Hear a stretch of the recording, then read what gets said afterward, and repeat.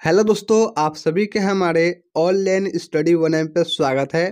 दोस्तों N T A J E E main exam का जो रिज़ल्ट है दोस्तों, आप लोगों का जारी कर चुका है। तो मैं आपको इस वीडियो के अंदर बताऊँगा कि आप सभी लोग अपना जो रिज़ल्ट है, वो किस प्रकार से चेक करेंगे और किस प्रकार से आप लोग डाउनलोड कर सकते हैं।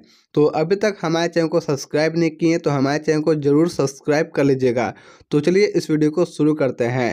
तो सबसे पहले आपको करना क्या है? सबसे पहले आपको आना है अपने मोबाइल के गूगल पे। गूगल पे आपको टाइप करना पड़ेगा, जानकारी अपडेट। आपको ये लिख के आपको सर्च करना है। जैसे आप लोग सर्च कीजिए, फिर आपको करना, फिर से आपको नीचे आना है। जैसा कि यहाँ पे लिखा हो, जानकारी अपडेट, आपको इस पर क्लिक कर देना है।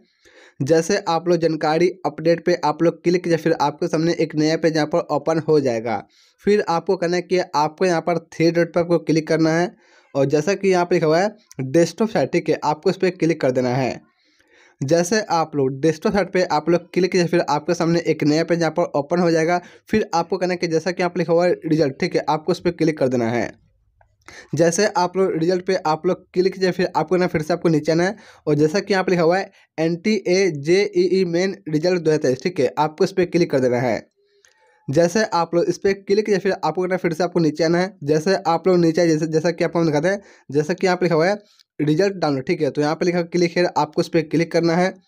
जैसे आप लोग इस पर क्लिक कीजिए, फिर आपके सामने एक नया पेज यहाँ पर ओपन हो जाएगा।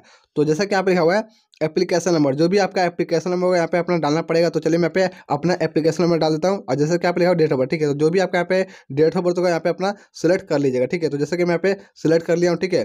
तो जो भी आपका यहाँ पे होगा डेट ऑफ़ बर्थ अपना यहाँ पे सही से सिलेक्ट कर लीजिएगा और जैसा कि आप लिखा कैप्चा कोड ठीक है तो मैं यहाँ पे कैप्चा कोड मैं पे डाल देता हूँ ठीक है तो जैसा कि यहाँ पे अपना कैप्चा कोड जो भी आपका होगा यहाँ पे अपना सेम डालिएगा क्योंकि यहाँ पे आपका जो कैप्चा कोड यहाँ पे कुछ गलत होता है तो आपको ध्यान से यहाँ पे भरना पड़ेगा तो मैंने यहाँ पे कैप्चा कोड डाल दिया और जैसा कि आप लिखा सबमिट बटन आपको उस पर क्लिक कर देना ठीक है तो मैं यहाँ पे क्लिक करता हूँ दो मिनट रुक जाइए ठीक है मैं यहाँ पे क्लिक कर दिया ठीक है तो मैं जैसा सबमिट बटन पे आप, मैंने क्लिक किया तो जैसा कि आप लोग देख रहे हैं, यहाँ पर आपका जो रिज़ल्ट यहाँ पे डाउनलोड हो जाएगा। जैसा कि आप लोग देख रहे हैं, यहाँ पर आपका एप्लीकेशन आ चुका है, नाम आ चुका है, और मदर नेम आ चुका है फादर नेम आ चुका है, ठीक है? और जैसा कि यहाँ पे आपका जो रोल नंबर यहाँ पे आ चुका है, ठीक है? और जैसा कि यहाँ पे देखा, यहाँ पे दिखा दे रहा है, यहाँ पे लिखा प्रिंट ठीक है? आपको इस पर प्रिंट पे ऑप्शन पर क्लिक करना है, और यहाँ से आप लोग अपना प्रिंट कर सकते हैं। तो ये वीडियो आपको कैसे लगी है प्लीज़ लाइक करें शेयर करें सब्सक्राइब करें।